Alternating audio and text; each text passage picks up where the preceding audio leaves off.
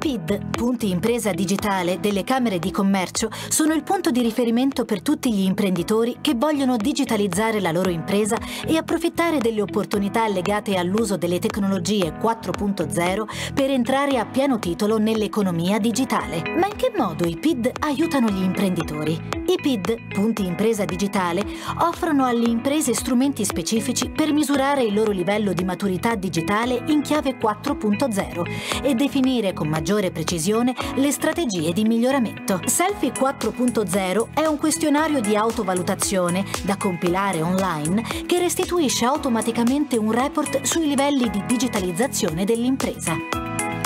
Zoom 4.0 è una valutazione più approfondita, svolta direttamente in azienda insieme al Digital Promoter della Camera di Commercio, che permette di definire in modo più dettagliato i percorsi di digitalizzazione da intraprendere. Digital Skill Voyager, dedicato a studenti e lavoratori, è un test per misurare le competenze digitali attraverso un gioco online, un vero e proprio viaggio nel tempo a tappe in chiave digitale. I PID realizzano incontri di informazione e formazione sulle tecnologie 4.0 Così le imprese possono acquisire un quadro più chiaro e capire come migliorare, attraverso il digitale, processi di lavoro, prodotti e servizi. I PID si avvalgono di un network di professionisti che, nel ruolo di mentor, supportano gli imprenditori nelle scelte da compiere sui temi del digitale e del change management. Attraverso i PID si viene indirizzati verso i servizi avanzati proposti dagli altri attori del network Impresa 4.0, quali i Competence Center del mondo universitario, i Digital Innovation Hub e gli ecosistemi digitali dell'innovazione delle associazioni di categoria. Tutte le principali strutture che operano a livello nazionale per favorire l'innovazione e la digitalizzazione delle imprese si trovano su atlantei4.0.it. I PID mettono a disposizione delle imprese dei voucher per l'acquisto di servizi di consulenza, formazione e tecnologie in ambito impresa 4.0. I voucher sono erogati direttamente dalla Camera di Commercio attraverso bandi ai quali possono partecipare imprese singole o, se condividono un progetto di innovazione, organizzate in gruppo. Che aspetti a entrare nell'economia digitale? Contatta il PID della tua Camera di Commercio o vai su .impresadigitale.camcom.it.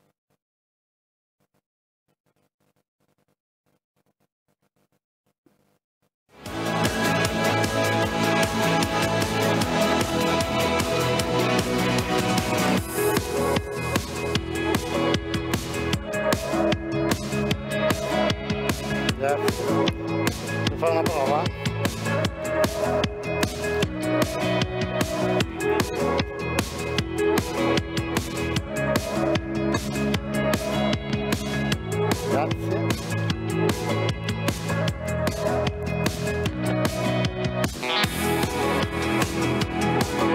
Bene. 봤어?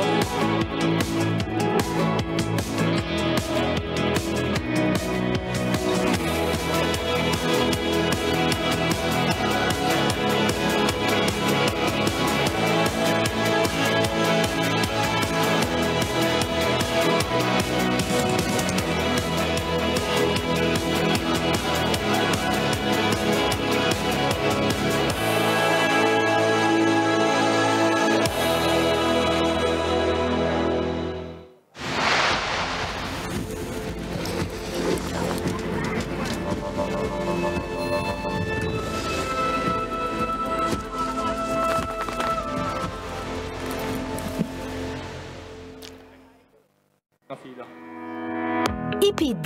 Punti impresa digitale delle Camere di Commercio, sono il punto di riferimento per tutti gli imprenditori che vogliono digitalizzare la loro impresa e approfittare delle opportunità legate all'uso delle tecnologie 4.0 per entrare a pieno titolo nell'economia digitale. Ma in che modo i PID aiutano gli imprenditori?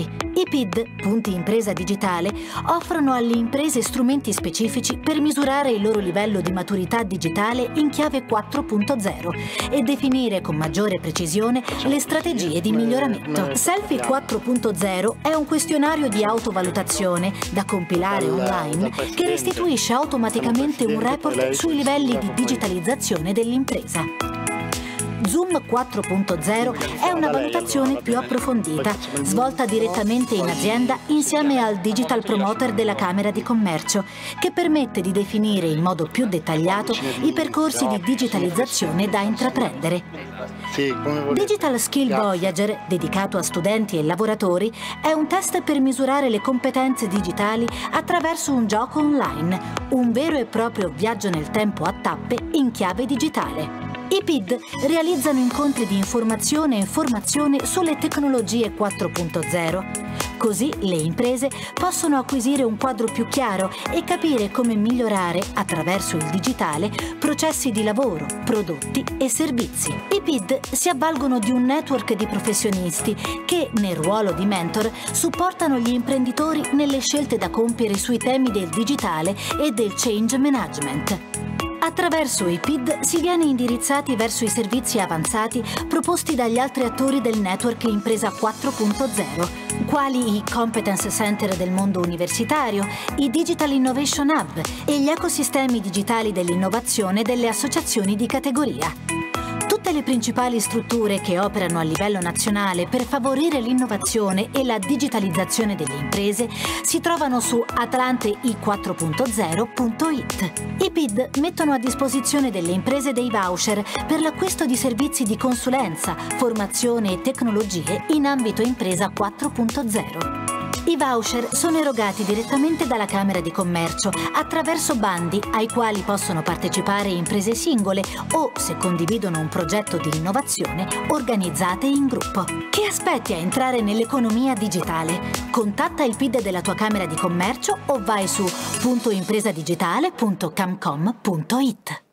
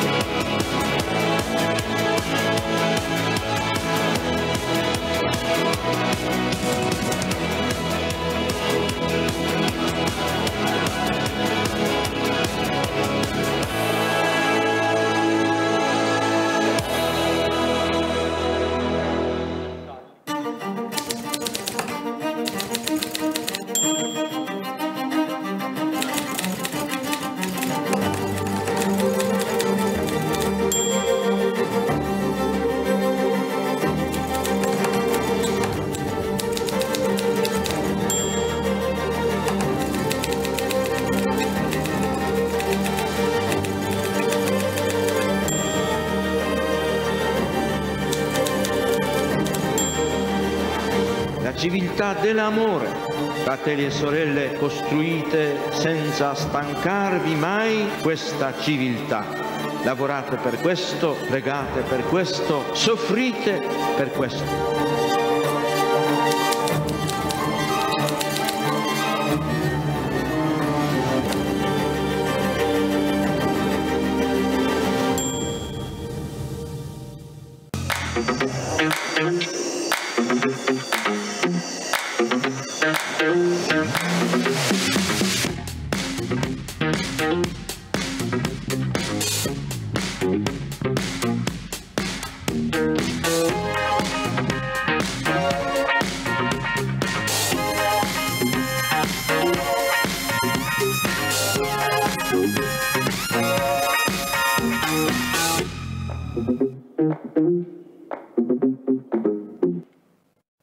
Bene, buonasera a tutti.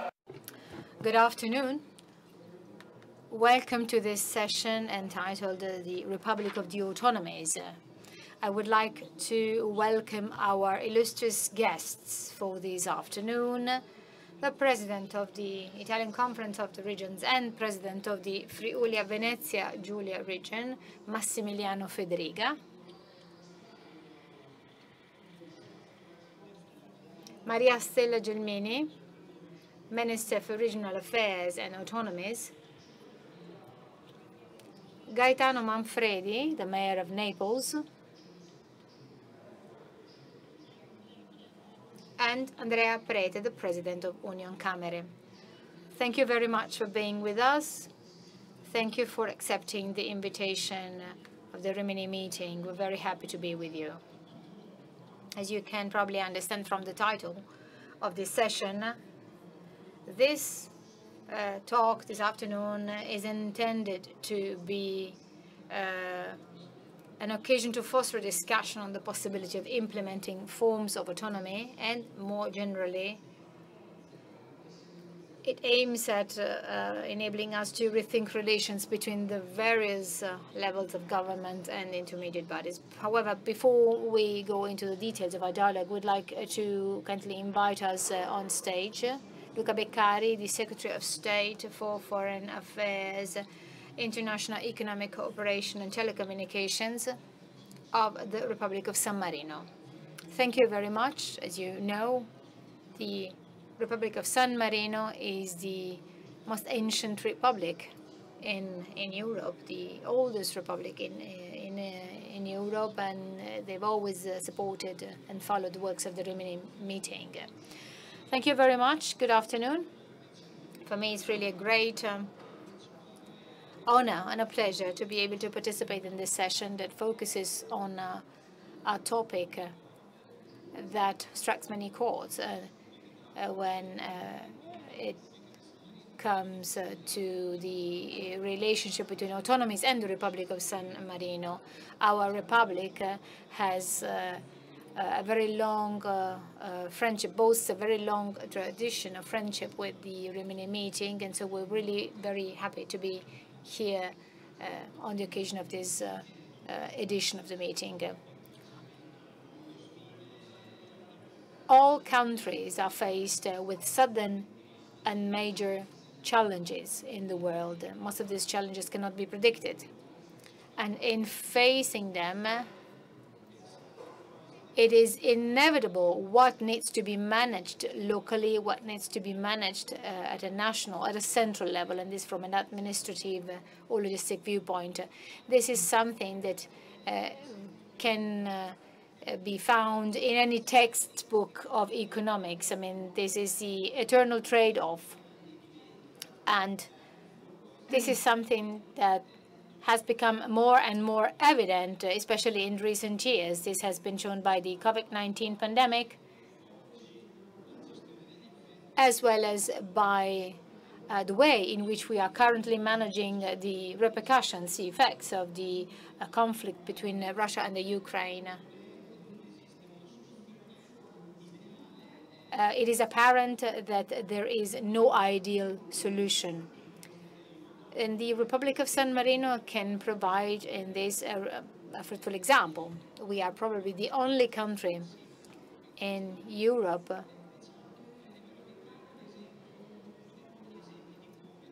it's one of the few examples in Europe of how you need to organize service at a very small scale. So services which are sometimes managed nationally, centrally, when it comes to larger states. For example, we have an area of over of about 62 square kilometers, and in that small area, we have to provide justice, health, public security services in an autonomous way with our own resources, uh, resources however, with the needs that all the countries expect, because the level of uh, health, justice, and public uh, safety is something that is perceived by citizens irrespective of uh, the size of the country where they live.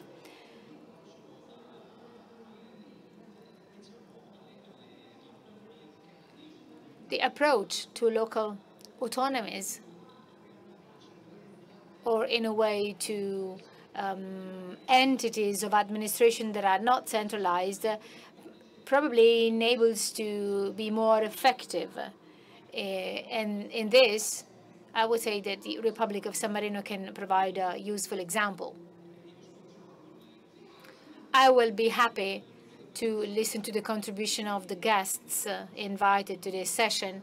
I believe that, that, the topic that they're going to discuss is uh, something, is a topic that can and should be addressed uh, both nationally as well as supranationally. For example, when it comes to the relationship between the European Union and the member states, and uh, this will also concern San Marino when the association agreement is finalized, uh, uh, there is no longer autonomy outside these borders. And this is something that we see in international organizations when you see that there are supranational um, agreements made with repercussions uh, to all member states uh, to these organizations.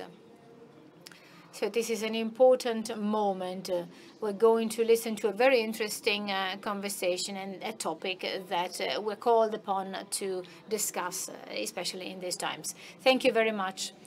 Thanks to Luca Beccari, you have provided us with a right, with a nice introduction. Thank you very much.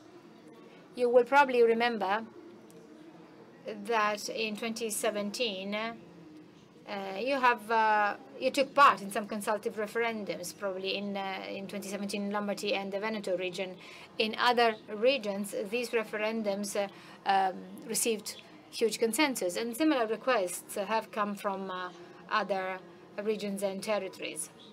Article 116, third paragraph of our constitution, namely states that Further, special forms and conditions of autonomy can be assigned and attributed to the regions. So this means that much work can be done, can still be done. And in this respect, I would also like to remind you that even Prime Minister Draghi himself, in his speech to the Senate of the 20th of July, uh,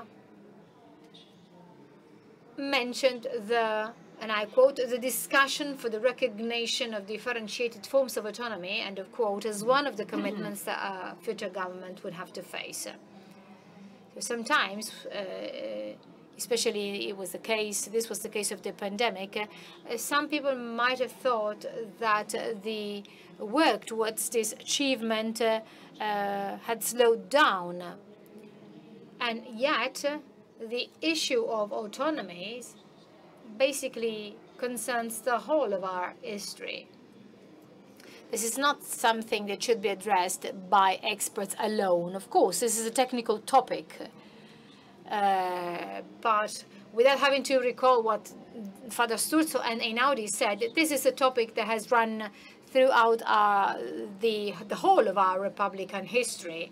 And I think that also the implementation of the NRRP has led us uh, to consider additional risks and possibilities. So you may have more space, greater spaces of freedom and autonomy, accompanied by appropriate forms of responsibility.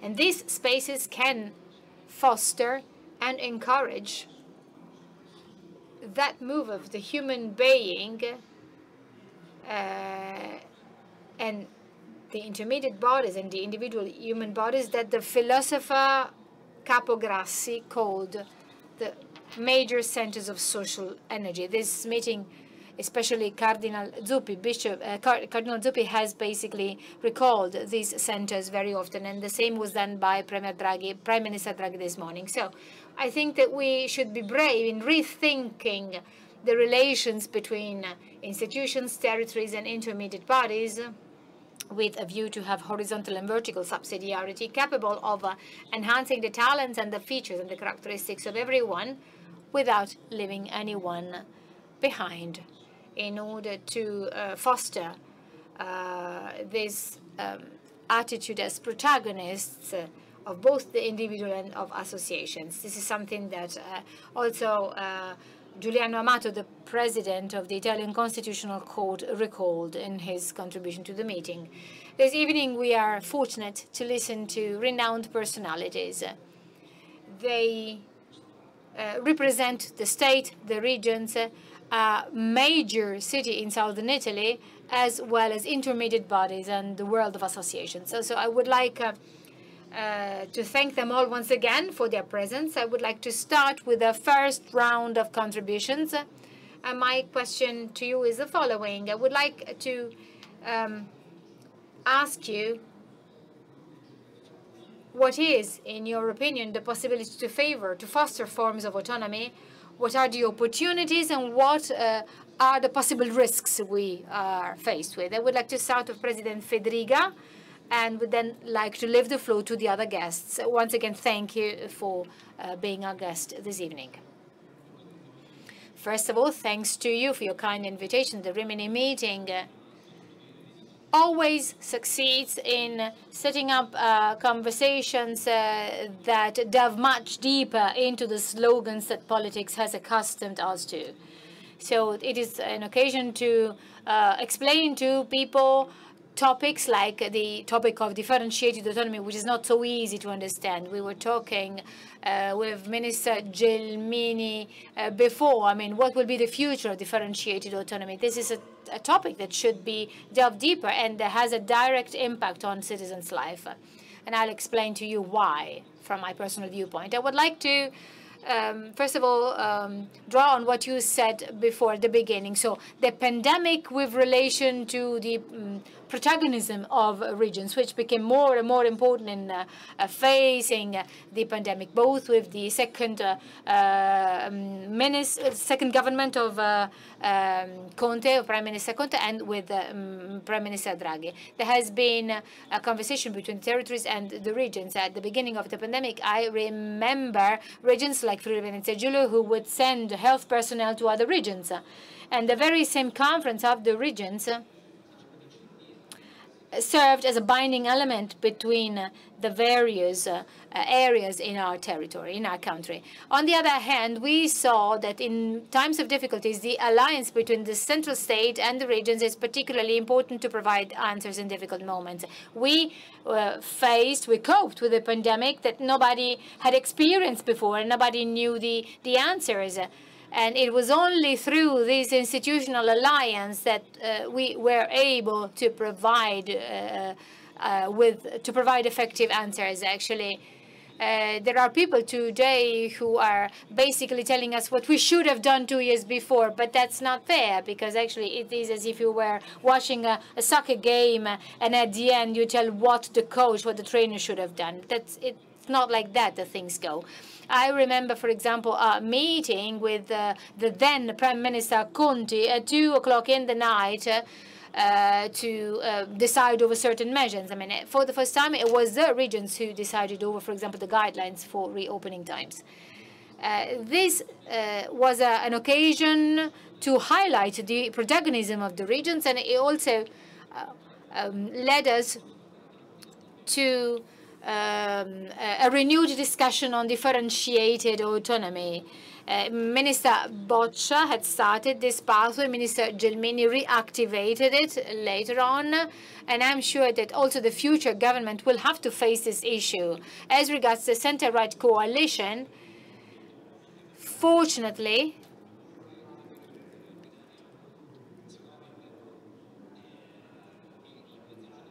the center-right uh, coalition has in its program uh, the need to continue the topic of differentiated autonomy. And I'm saying this as president of an autonomous region.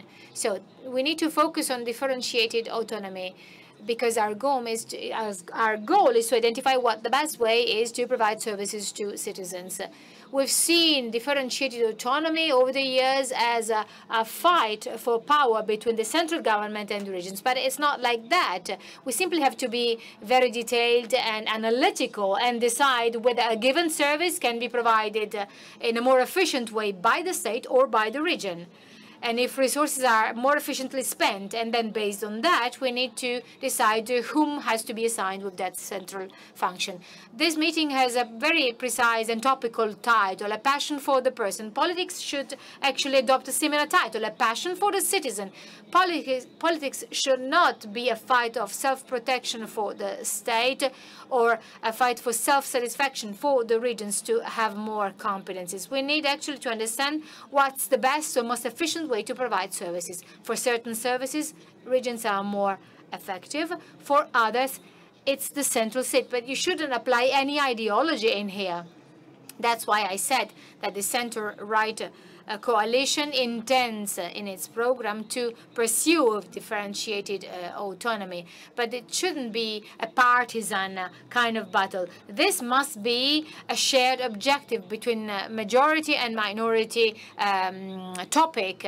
and I'm saying this as president of Conference of the Regions as well as president of a region who has who is an autonomous region because we have exclusive uh, competences and this is guaranteed by the constitution so uh, this might be a topic that is not that uh, much of interest for our region However, I believe that uh, a greater efficiency of the state uh, can be useful for everybody, and this, uh, of course, goes through a reorganization of the institutions.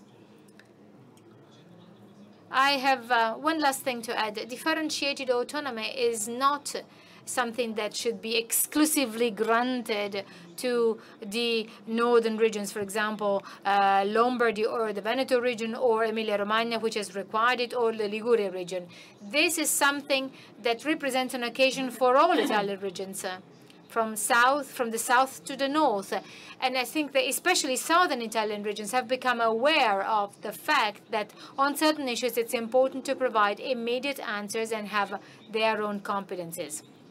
I'm sure that many regions in the south of Italy can go on with this project. Autonomy is not something that divides the country, but that rather provides more efficient institutional organization. This is the concept that should be conveyed to citizens.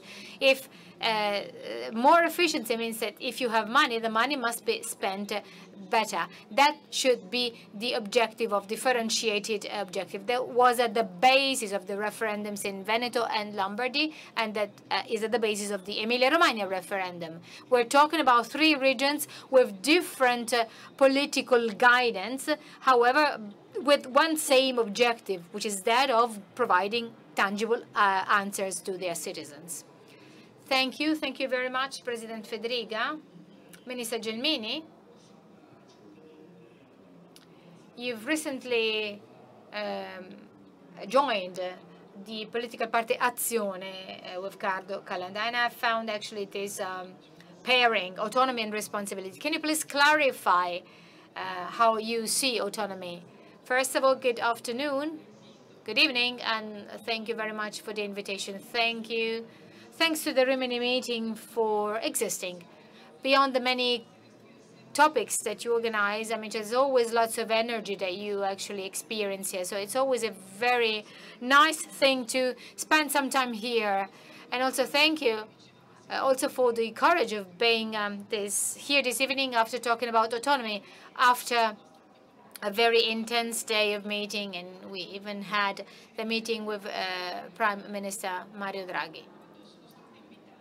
When I was invited to discuss about autonomy, I thought that, I mean, it might have uh, uh, sounded a bit uh, brave to discuss about autonomy, but then I also thought that actually the Rimini meeting is precisely the place where um, uh, subsidiarity is at home and where dialogue uh, is always fostered, and that's basically the Rimini meeting. And the very same autonomy stems from the principle of subsidiarity.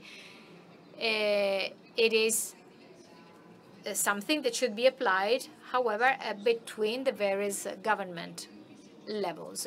That's why I think that we it is appropriate to talk about autonomy here on the eve of an already very uh, hot uh, political campaign, touching upon lots of uh, topics where certain topics are priority topics, like, for example, the cost of energy, the, the soaring costs of energy, um, uh, as well as many others. I think that also the issue of reforms uh, that might be probably more theoretical, more distant from citizens, has in fact a direct impact because it can help overcome uh, the gap between the north and the south of Italy in uh, applying the subsidiarity principle and improving the quality to our citizens as well as in uh, reducing the cost of services. So I think that I really hope that the work we have done uh, up to now is not thrown away. Uh, the method should not be changed. Uh, much is being said, is, uh, there's much talk, there's much discussion about the Draghi method, and this applies also to this issue. We've tried basically to apply reforms that did not alter the application of Article 116. All too often the topic of autonomy is uh, in a way um, attached to misconceptions, like the fact that, for example, it is it refers uh, to some kind of a battle to appropriate to get to to uh, to get resources or a way to increase inequalities and not to guarantee the same citizenship rights. That's the main reason why, after 20 years, autonomy has not yet been implemented. But we decided to um, set up a different project, a different autonomy project, for a number of reasons. First of all, because uh, those who are in favor of autonomy are not uh, uh, in favor of a disruption of the constitution or uh, disgregation of the constitution. That's quite the opposite. Article 116 of the constitution foresees uh, this topic of the differentiated autonomy. So if we uh, are to comply with the Italian constitution, then autonomy is not something that goes against the constitution. It's quite the opposite.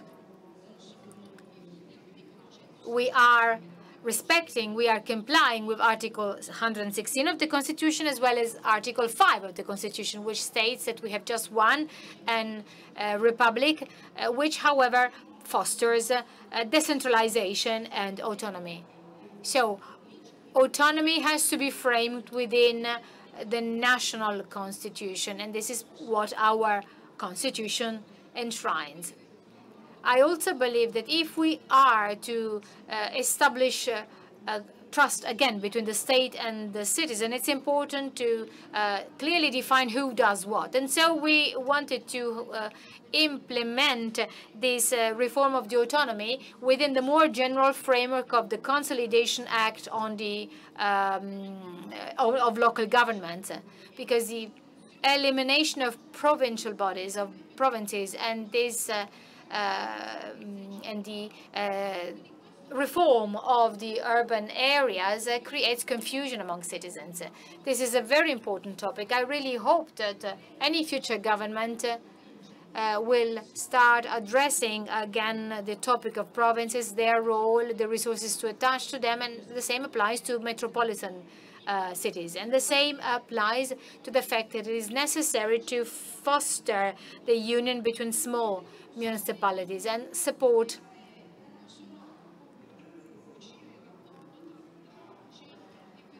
the link between the center and the peripheries, as well as to support mountain areas, small islands, internal inland areas, the south of Italy, as well as more uh, the areas that are more distant from the capital. I believe that it is precisely here that we can uh, re-establish trust between the state and the citizen. And that is why we had started with a number of reforms. There was an act on mountain areas. There were 200 million euros ready. They are set aside to, in a way, try and overcome the problem of the uh, depopulation of mountain areas and to allow young people to start up their business in uh, mountain areas in order to provide more services there.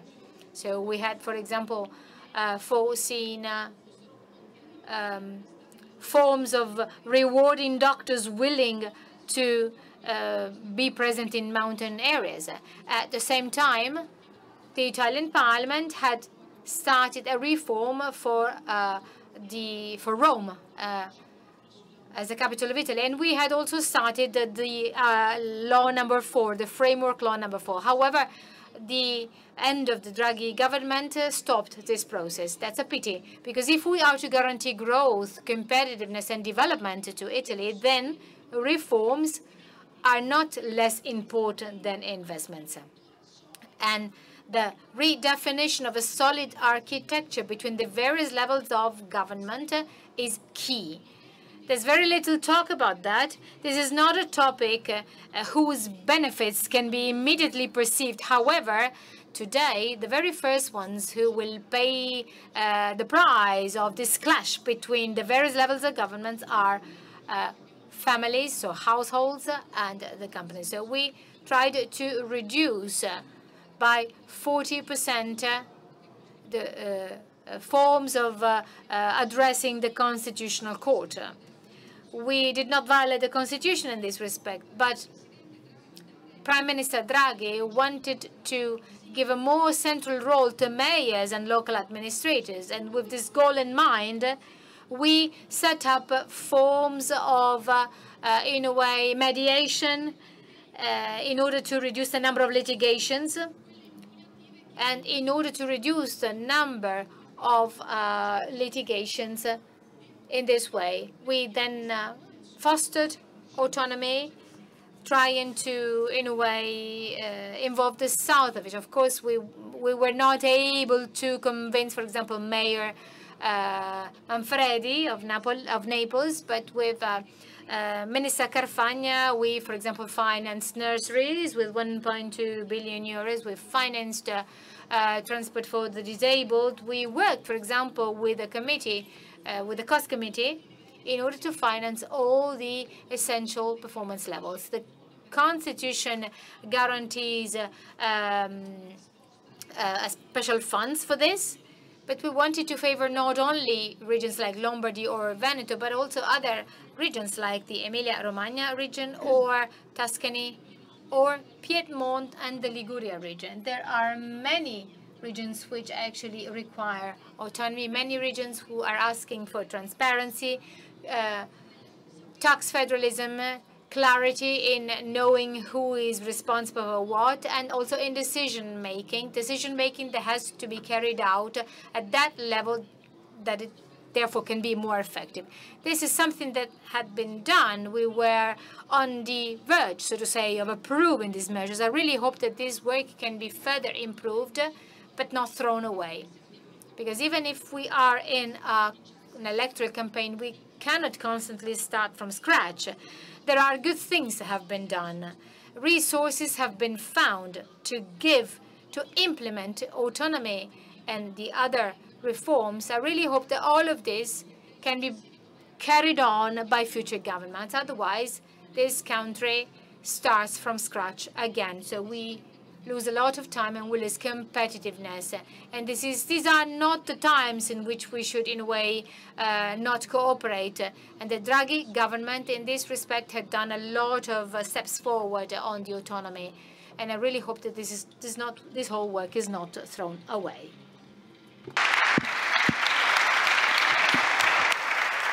Grazie, grazie Ministro Thank you. Thank you, Minister Gelmini, for somehow recapping what the government uh, has done on these topics. So, Mayor, Mayor Manfredi, so I read a couple of interviews of yours. You have also managed university, so you certainly played a key role as a public representative, and now you are managing a big city like Naples. So which are the major risks, in your opinion? Are there slippages, risks uh, in terms of social cohesion? And uh, I mean, which are the critical aspects uh, to be uh, considered the most? Thank you very much again for being here with us, and the floor is yours. Well, thank you for the invitation because it is key to debate this topic that is key for the future of the country as well as for its uh, organization. I've been rector, president of the Rectors Conference, and uh, uh, university minister, and I've always strongly uh, defended the autonomy of university that is enshrined in our constitution. So it's not either or. I mean, it's not a matter of choosing the fact that we need to understand how to implement autonomy uh, in order to both comply with the, state's rights and the citizens' rights. So I have a number of uh, remarks to share with you here this evening, and I think that these remarks may be useful when it comes to Italy's uh, uh, perspectives for the future. First of all, which are the areas that can be somehow affected by autonomy.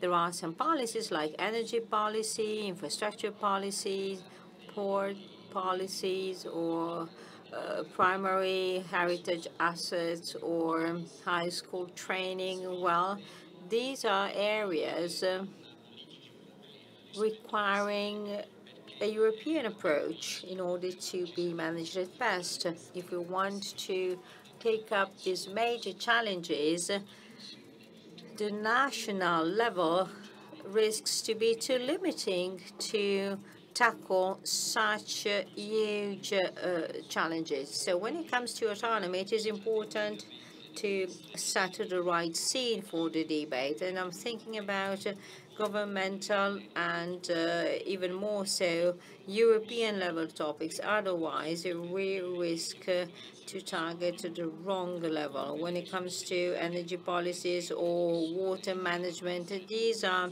topics that should be treated at national level.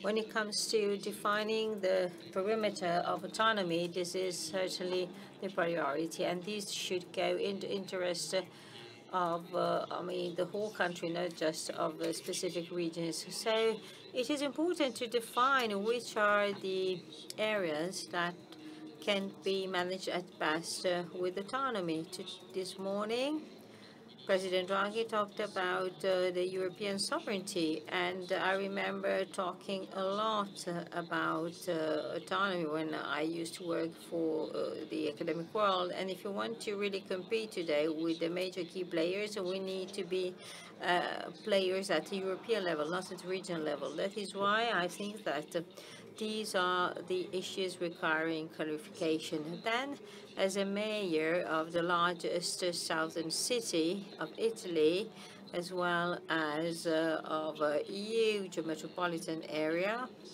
as Minister Gelmini used to say, it, it is quite a responsibility. We always talk about the autonomy of regions, but what about the autonomy of metropolitan areas or uh, cities? Well, we have uh, Greater Naples that has 3.5 million inhabitants, so it is really huge. So if we do not adopt the right approach, we risk to create a new form of regional centralism. On top of that, uh, Massimiliano said it very suitably and appropriately. We, the real issue is to put citizens at the center and um, serve them with the best uh, possible level of service. So we deliver uh, social assistance services, welfare services, transport services, uh, schooling services, educational services. so a wide range of services that uh, are beneficial to citizens, and especially in uh, greater urban areas, uh, there are a high level of complexity, and uh, we have uh, very, very little room for maneuver when it comes to autonomy. Again, it is absolutely important uh, to consider the right relationship between uh, center, region, and citizens, and as well great metropolitan areas, well, we need to consider that. And I think that this point of view is shared by mayors of larger cities, but also smaller cities. So we really need to enhance uh, even more uh, such intermediate levels because we have the we have Italy that is made of municipalities. So when it comes to autonomy, well, we really need to consider a whole reorganization and redistribution of competencies because today, uh, ironically, municipalities are those really delivering services to citizens, but they have the lowest level of autonomy. So they are hyper-controlled, they have complex fiscal management issues because they really have to directly I mean, get uh, the uh, taxes. So this creates a lot of stress in citizens that are uh, sometimes not happy with how things are managed. And then there is equality. It's not because I'm uh, the mayor of a large southern city like Naples that I need to talk about this, because the real challenge for the country today has to do with the social classes and social equality. So the goals of the National Recovery Resilience Plan when debated uh, in Brussels, uh, put at the center the reduction of gaps of any kind, uh, gender gaps, uh, territorial gaps, uh, all sorts of gaps. Today in Italy, we have uh, unacceptable gaps. They are unacceptable because they have an impact on uh, the constitutionally guaranteed rights of citizens. For instance, the right to have access to quality education, the right to have access to healthcare services, the right to mobility, the right to services for the most vulnerable ones, for the disabled ones, the expenditure capacity existing in our country varies a lot from area to area. Our country is extremely patchy and average income varies a lot. In Naples, average income is less than the half of the average income in Milan, so the fiscal capacity of the municipality as a consequence is much lower, less than half than the financial capacity of Milan, for instance. So if we somehow do not properly distribute resources, we will increase the gaps and not reduce them. The real challenge today is to guarantee autonomy, but do that by fully respecting the rights of all in full compliance with the uh, equity principle that should be considered in several terms, territorial, gender, and graphic gaps. But I mean, citizens should consider uh, these interests as a general interest. If we want to make Italy grow more and more, we need to start working on the less developed areas because access to the job market for the youngest, uh, the access to job market by women, having a higher and better education. Well, these are key rights. And if we look at the regions, we see that these differences are still there and still prior quite clashing. So I think that they are unacceptable. I'm not against uh, the autonomy principle, not at all. I think that this is an added value what I'm against of is uh, a kind of autonomy not likely to guarantee equality to everybody, and most of all, a kind of autonomy that could affect uh, the uh, unitarian strategic vision of the country that we desperately need. We will go through a certainly not easy phase even though I do agree with President Draghi with, when he said that our energy, imagination, creativity, and uh, as a person from Naples, I must say that there we are particularly good at that. Well, Draghi is convinced that thanks to all our features and qualities, we can still overcome problems. But again, all citizens need to feel to be equal in front of the state. So regardless of our reforms, of our actions, we need to uh, pursue a general protection goal. So we need to protect everybody's interests. So again, any kind of uh, idea of autonomy can always and should always be implemented in a positive way because otherwise, uh, if autonomies uh, just tend to promote differences so they want and can't be effective. We need to define the minimum uh, levels of service. We need to have uh, balanced funds uh, in order to guarantee the right level of financing, we need to have constitutionally guaranteed days, uh, uh, rights, sorry, we need the right administrative capacity to manage all this, but the tools are there. So at the end of the day, I do believe in a sort of empowering autonomy. And uh, I am ready and open to discussion as many other colleagues. So it is important to guarantee key principles. Otherwise, you simply work against the citizens' interest and not in favor of citizen interest.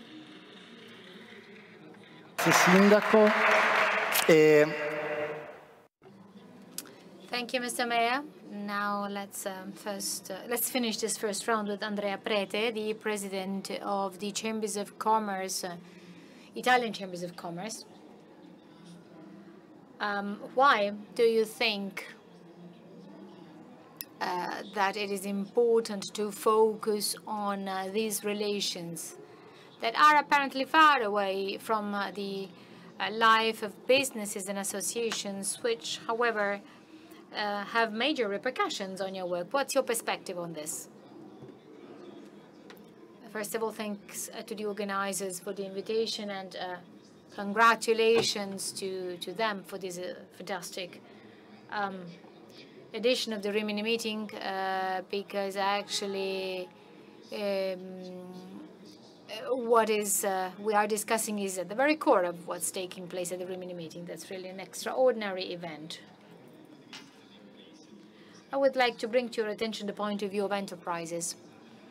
After President Fedriga, Minister Gelmini, and Mayor um, Manfredi, I would like to bring you the voice of enterprises. We are the system of the Italian Chambers of Commerce, and this system the Italian system of chambers of commerce has written, recently been subject to uh, reform. Uh, Minister Gelmini was mentioning before the unfinished reform of provinces. The reform of the Italian chambers of commerce uh, was finalized. The number of chambers of commerce went from 105 uh, and the um, final uh, expected number of chambers of commerce is 60. Uh, so it is being finalized. Uh, so the process has been going on for about eight years, and uh, we've uh, received quite a number of oppositions coming from the territories. And that is because uh, whenever you are dealing with a change, uh, this change poses some difficulties. And we are an example of that. Even if, like I said, we are finalizing the process.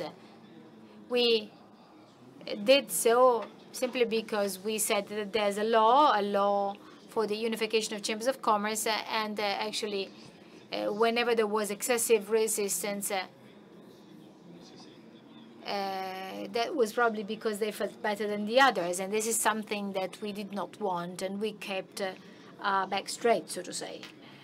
I believe that autonomy is a means and not an end. Uh, let me explain you why. If you ask any enterprise, any Italian enterprise, uh, uh, and ask them uh, what the company expects from the government, uh, from actually those who govern them, uh, enterprises want just one thing. They want things to be, they want their life to be simplified. Uh, whether this simplification comes from the central state or from the regions or other institutions, that's not what matters for chambers of commerce. We've, uh, uh, we have a, a, working group on simplification within Unioncamere that sees the participation of all major professional associations, uh, the Industrialists Association, uh, the Artisans Association, um, and basically all of them. And what we have tried to discuss is the uh, bottom-up form of simplification.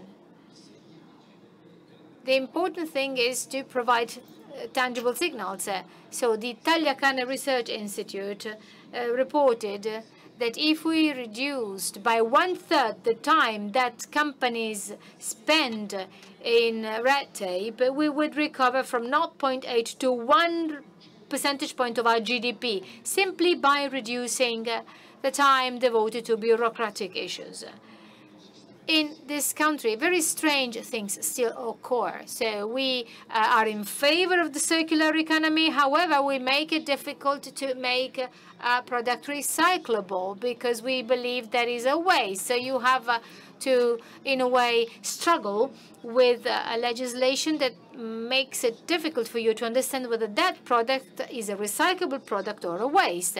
And in the environmental field, you may you run the risk of uh, being subject to uh, criminal sanctions, penal sanctions. So this is absurd. So, for example, if you you cut the grass in your lawn by yourself, you can uh, uh, landfill to the organic uh, fraction. But if you come, if you call special companies, that become a special waste, and that's absurd.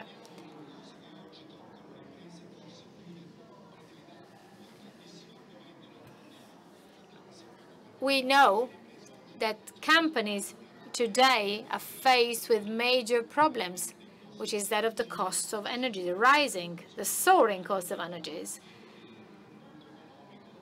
The world of enterprises uh, is going through very difficult uh, times, has been going through very difficult times for three years.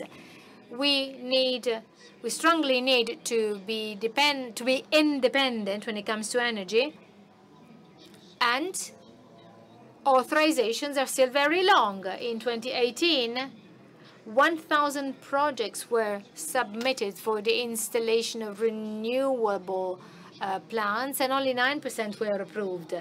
And then do we still complaining that we depend on Russian gas when we may have solutions for, to our problem here? This is actually what companies are looking for. So fact is that we, as long as they uh, are within the borders of their own uh, plant, they know what to do. But the, the problems come after, uh, I mean, outside the companies themselves. And this is uh, the same throughout Italy. This is a fundamental issue. And you see the reasons of everybody. Um, but we need to be convinced of the fact that this uh, is a process that brings about benefits to everybody. And there cannot be any derogations on this. There are lots of differences between the south and the north of Italy. Minister Gelmini knows this very well. If you refer to historical expenses, of course, uh, the subjects which uh, who spent less in certain fields uh, are in a way will receive less. Of course, we need to apply the essential levels of performance with new standards. The other day, I was listening to Governor Fontana, and when he was asked what his uh, flagship project was, he basically said, I want all people from the, all the citizens of Lombardy to have the same possibilities. That's legitimate. In Milan, we have a GDP that is three times as high as Pavia. In Veneto, Verona has a GDP that is twice as much as Veneto. In Emilia, the same between Bologna and Ferrara. So, uh, applying uh, President Fontana's concept, uh, is if Fontana were the prime minister, I would be happy because he would say that all Italians uh, need to have the same possibilities. This is what we uh, aspire to. But when uh, it comes to the system of enterprises, I mean, that's uh, uh, is something which is for us is important, but for us the most important objective is uh, to have the, another possibility. Last year we had an economic recovery. We were the first in Italy. That means the productive system works well when it is placed in the conditions to work. And then we also have to consider that the situation is uh, rapidly and swiftly changing on a daily basis. We had uh, the impossibility to dismiss people during the COVID pandemic, and then at the end of that, uh, we feared that we would have uh, uh, had a high unemployment rate, and now we don't find people to hire. The system of chambers of commerce is also paying lots of attention to the employment field, and we're also thinking what we can do to get the skills uh, that companies need. There's yet another problem besides state of energy that we do not find professional profiles, the right professional profiles. We need to uh, make sure that there's a strong misalignment between the educational field and the needs of companies. So these are topics that are cross-cutting. I haven't probably gone too much into the topic of autonomy, but actually I think that these are more significant topics for companies. Grazie. Eh, Thank you. Now a second round, and I would like to start from you, President Prete. So we're going to go and vote in one month. So what are your main concerns and also your somehow wishes? Because it is interesting to know your take and uh, you may communicate that to political representatives. So which are the proposals that you can share with us on these topics and also on other related topics, such as implementation of the National Resilience and Recovery Plan that involves so many sectors. I think about the university, the sector I'm working uh, in, but also there are many other areas of the civil society that are involved. So President Prete, I start from you. Right, so this morning we heard the speech of President Draghi and there was a standing ovation welcoming him and I think that was uh, an acknowledgement of the achievements reached by his government and uh, he was celebrated because of the results he got and certainly Minister Gelmini, being part of that government, deserves the same kind of uh, acknowledgement. And so again, uh, I think that uh, the government certainly did great things, and so all the parts involved need to be acknowledged, recognition. But still, as representative of uh, the Chambers of Commerce, we do not want to take a specific uh, stand, but still, what I wish in my capacity is to have a government made of uh, skilled people with a high level of expertise, because I mean, uh, being uh, governed and managed by skilled and knowledgeable ministers uh, and uh, politicians is extremely important. And mo mo most of all, it is also important to have competent and also credible people who can enjoy credibility at an international level. So when it comes to bureaucratic simplification, this is one of our major requests. And secondly, reducing the fiscal burden would be welcome. But then we know the surge of inflation, and inflation is having a huge comeback after 20 years. Uh, many people do not know what it means to have a two-digit inflation rate. So this is to be tackled as soon as possible. So if you reduce the purchasing power of people, well, things get really serious. So I hope that these will be properly addressed. And then implementation of the National Resilience Recovery Plan, and also it would be advisable to somehow follow in the footsteps of the Draghi government because, well, things were done properly, and I hope that uh, things will be done properly also in the future by the next government. regardless of what it will be. Well, Mayor, the floor is yours. Well, I start uh, with two key things. First of all, the National Recovery Resilience Plan that is a strategic opportunity for the whole country. And uh, certainly it entails uh, complex activities and rigorous timing. But, I, I mean, it is so much worse and uh, we need to consider the growing difficulties related, for instance, uh, to infrastructure reforms, uh, because uh, the surge uh, uh, in the cost of raw materials may pose a problem, but still we need to keep going with that. On top of that, I would like to talk about the problem of finding I mean, workers, and sometimes it's a problem of labor. You do not find the right, uh, uh I mean, uh, labor for the jobs that are available. And uh, so, again, this poses a major threat and problem. And these uh, affects not just uh, small municipalities, but also larger ones, such as mine. And again, the government uh, had tried to launch a fund for the reassessment of costs, and I think that this should be done also in the future. And then we have um, the cost of living.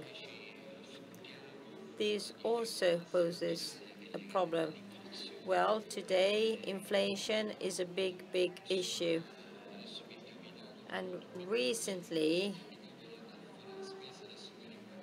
well, I had to go and do grocery shopping because I was on holiday and I was struck by the huge increase in the price of commodities.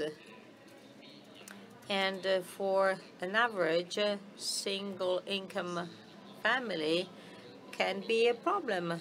But also we have many Italians that are living below the, I mean, poverty threshold, especially in the south of Italy. And this is a problem because everything has become more expensive, even uh, school books. So again, trying to do something for that is a big priority because if uh, the most vulnerable can't somehow have certainties, you risk to jeopardize social cohesion. Instead, we need to guarantee social cohesion because that means uh, uh, growth and prosperity. I'm the mayor of a beautiful city, but it is also a quiet, uh, difficult one, a complicated one. And uh, every day when I walk along the streets, I see the problem and which are the major problems. And so we need a lot of unity and uh, we need to do our best to somehow have the right social agenda because uh, households need to be sustained and supported. So regardless of who's going to win the elections and form the new government. So social cohesion should be a top priority because without social cohesion, there is no development, no growth. And again, so I think that uh, politicians should keep that high on their agendas. Minister Gelmini. Well, I would also like to start with the National Resilience and Recovery Plan because uh, I think that all political parties uh, should pledge and commit uh, to fully implement the National Resilience Recovery Plan regardless of who's going to win the elections because otherwise being, uh, I mean, uh, medium-term investment, it is clear that uh, the next government will somehow make the most of what the government of Mr. Draghi has done. So it is clear that Italy has to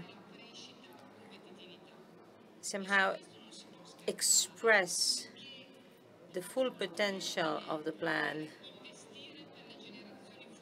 the plan is an investment for future generations. It means investing in infrastructure, broadband, reforms, but that is also somehow a way to guarantee and perpetuate the credibility of Italy, because otherwise uh, these could be considered as something that uh, is not so uh, topical. And again, hearing some politicians that say that that plan could be renegotiated or changed uh, scares me because uh, this is the very first time that Italy shares its data. It is the first time that uh, uh sort of cross-cutting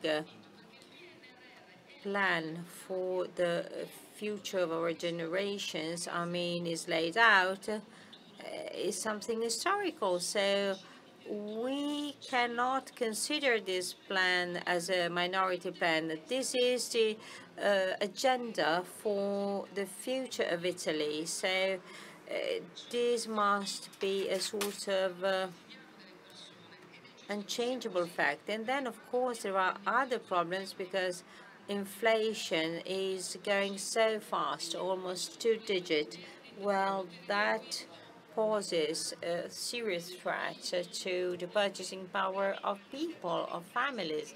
And again, there are major problems relating to energy supplies, uh, raw materials, but we should not trust those who say that uh, there are miracle recipes or magic solutions to fix problems. There is no panacea. So uh, first of all, restoring the purchasing power of salaries should be key.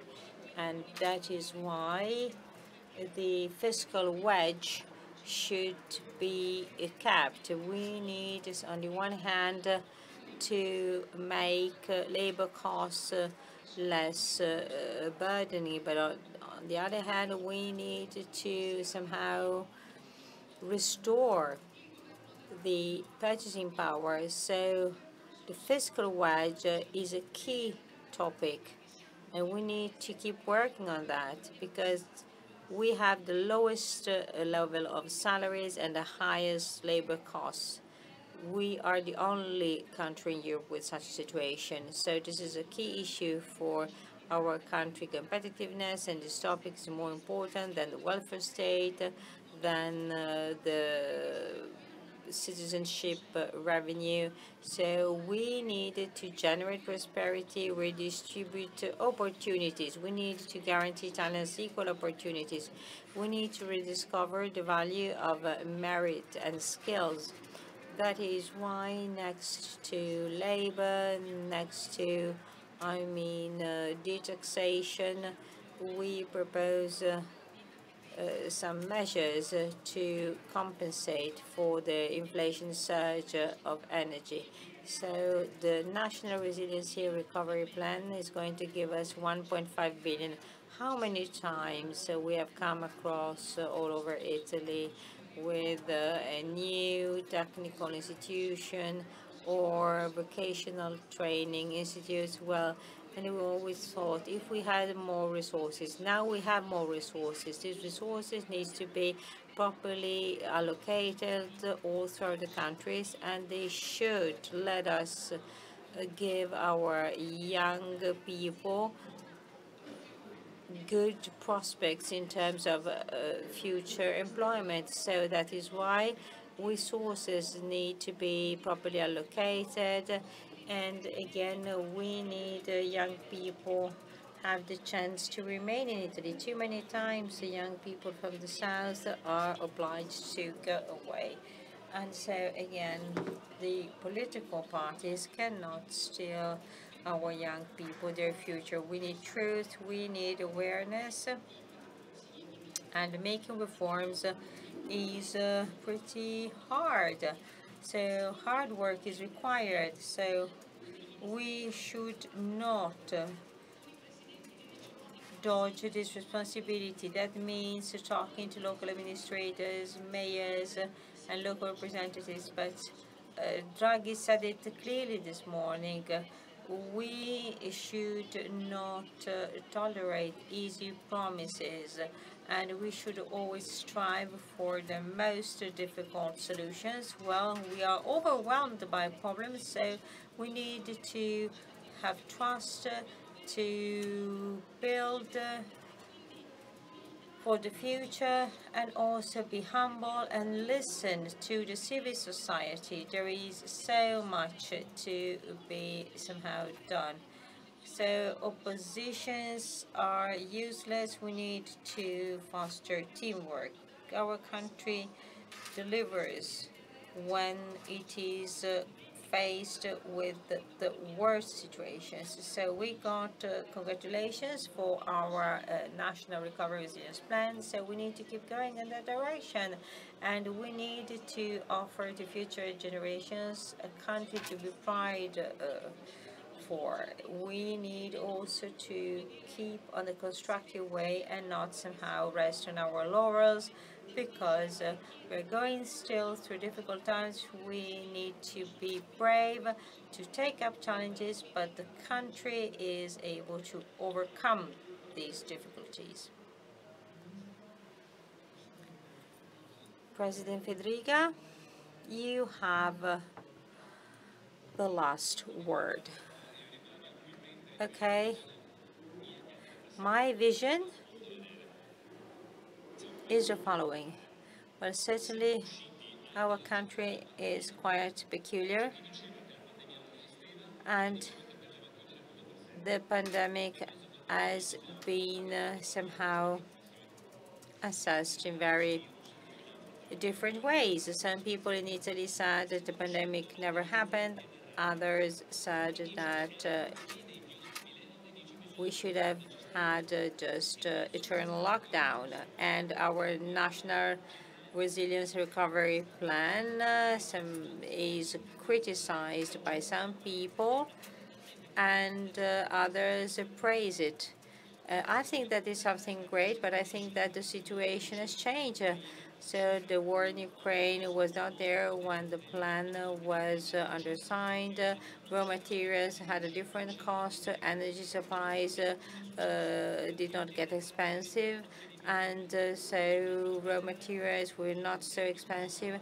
I think that uh, the National Resilience and Recovery Plan has to be changed. So it was very well written, but now it is time to change it. I'm sorry to be so direct. I do not think that the priority is not 300 million to Cinecittà. And uh, maybe those resources should go to businesses to face uh, the uh, surge of energy costs. Some companies risk to shut down because production is getting too expensive because of the surge of energy costs. And again, I hope that everything will uh, go for the better. But President Draghi said something uh, that is absolutely important. He said, let's differentiate the cost of gas with respect to the cost of energy. There, the, there is the energy regulatory body, and uh, it has an algorithm calculating the cost of energy.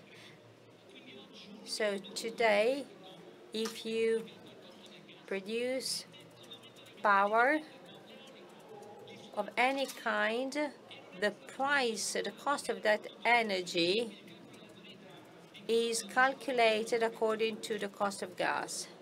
So the decoupling, Draghi said, is very important.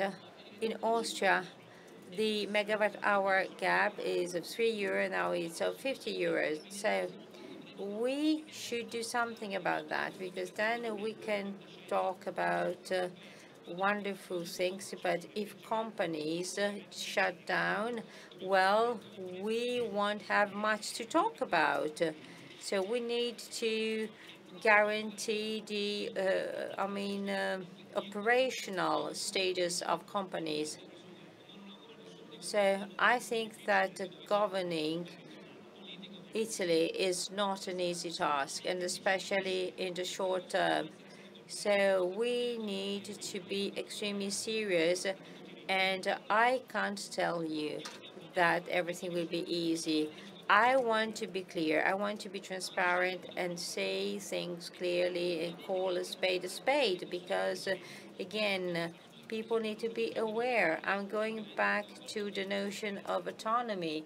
So autonomy should be sympathetic but also responsible. And again, I do share what uh, the mayor said. Being frank means being transparent. My, for instance, my wood surface is much higher than that of other regions, but I have uh, much fewer rangers. Well, I don't want to uh, make names, but I mean, there are challenges and sometimes uh, mistakes are allowed or are possible, but then you need to try to acknowledge mistakes and try to improve things. Okay, nobody is flawless, and uh, I am uh, the governor of a region, and I know what it means to make mistakes, acknowledge mistakes, and then to change things, but uh, this is part of the task of governing. So, and again, we should change the way energy costs are calculated. Okay, and then having European cap could also be okay. But again, let's start with the urgency, with the emergency.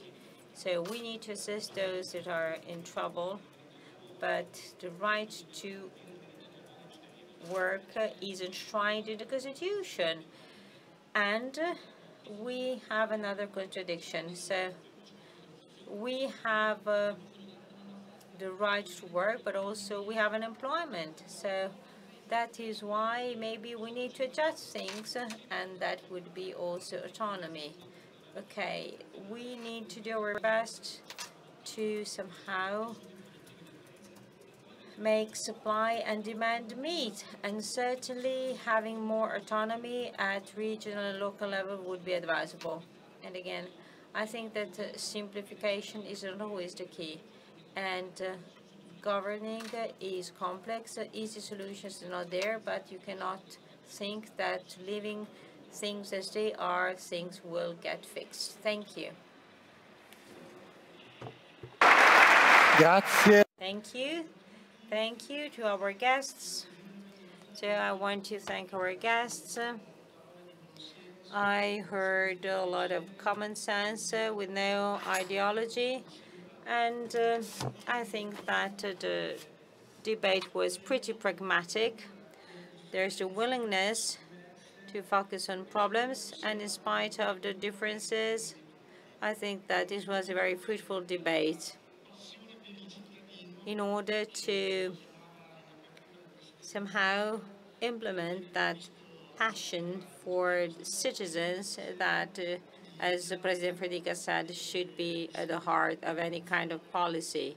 Thank you. Thank you very much for coming, and uh, see you very soon. Thank you, and good evening.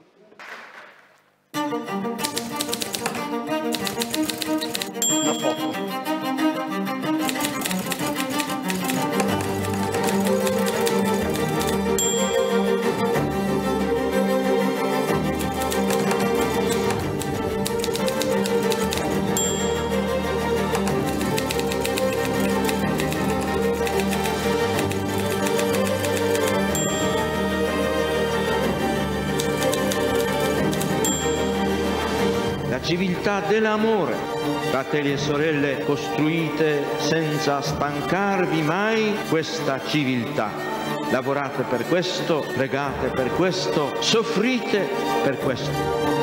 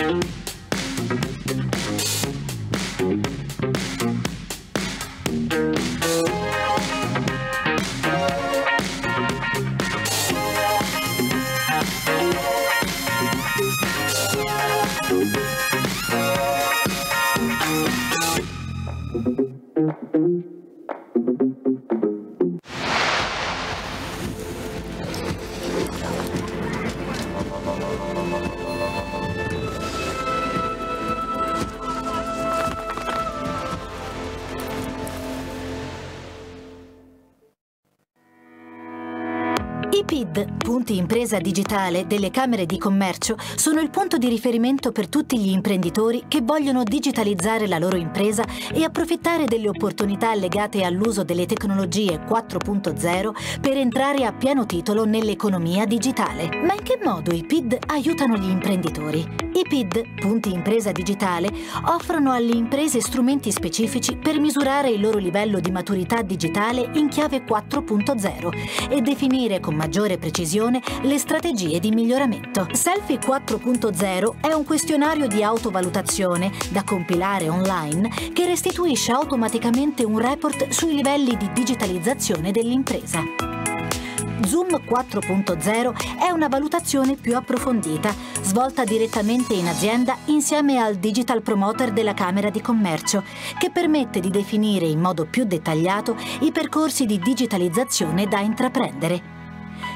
Digital Skill Voyager, dedicato a studenti e lavoratori, è un test per misurare le competenze digitali attraverso un gioco online, un vero e proprio viaggio nel tempo a tappe in chiave digitale. I PID realizzano incontri di informazione e informazione sulle tecnologie 4.0. Così le imprese possono acquisire un quadro più chiaro e capire come migliorare, attraverso il digitale, processi di lavoro, prodotti e servizi. I PID si avvalgono di un network di professionisti che, nel ruolo di mentor, supportano gli imprenditori nelle scelte da compiere sui temi del digitale e del change management. Attraverso i PID si viene indirizzati verso i servizi avanzati proposti dagli altri attori del network Impresa 4.0, quali i Competence Center del mondo universitario, i Digital Innovation Hub e gli ecosistemi digitali dell'innovazione delle associazioni di categoria.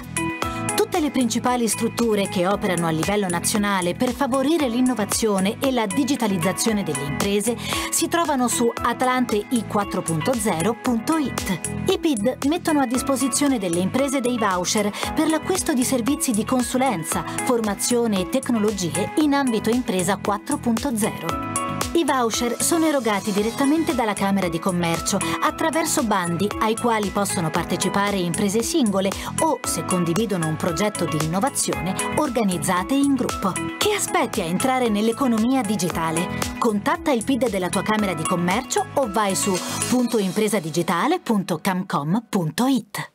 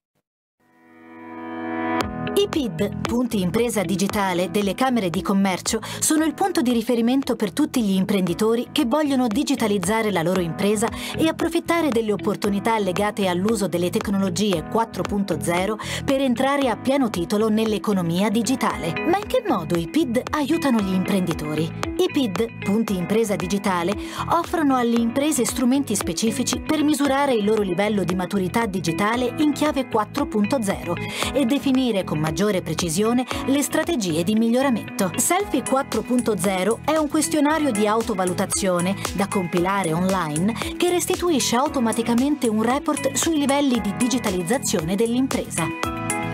Zoom 4.0 è una valutazione più approfondita, svolta direttamente in azienda insieme al Digital Promoter della Camera di Commercio, che permette di definire in modo più dettagliato i percorsi di digitalizzazione da intraprendere. Digital Skill Voyager, dedicato a studenti e lavoratori, è un test per misurare le competenze digitali attraverso un gioco online, un vero e proprio viaggio nel tempo a tappe in chiave digitale. I PID realizzano incontri di informazione e informazione sulle tecnologie 4.0. Così le imprese possono acquisire un quadro più chiaro e capire come migliorare, attraverso il digitale, processi di lavoro, prodotti e servizi. I PID si avvalgono di un network di professionisti che, nel ruolo di mentor, supportano gli imprenditori nelle scelte da compiere sui temi del digitale e del change management. Attraverso i PID si viene indirizzati verso i servizi avanzati proposti dagli altri attori del network Impresa 4.0, quali i Competence Center del mondo universitario, i Digital Innovation Hub e gli ecosistemi digitali dell'innovazione delle associazioni di categoria. Tutte le principali strutture che operano a livello nazionale per favorire l'innovazione e la digitalizzazione delle imprese si trovano su atlantei4.0.it. I PID mettono a disposizione delle imprese dei voucher per l'acquisto di servizi di consulenza, formazione e tecnologie in ambito impresa 4.0. I voucher sono erogati direttamente dalla Camera di Commercio attraverso bandi ai quali possono partecipare imprese singole o, se condividono un progetto di innovazione, organizzate in gruppo. Che aspetti a entrare nell'economia digitale? Contatta il PID della tua Camera di Commercio o vai su puntoimpresadigitale.camcom.it.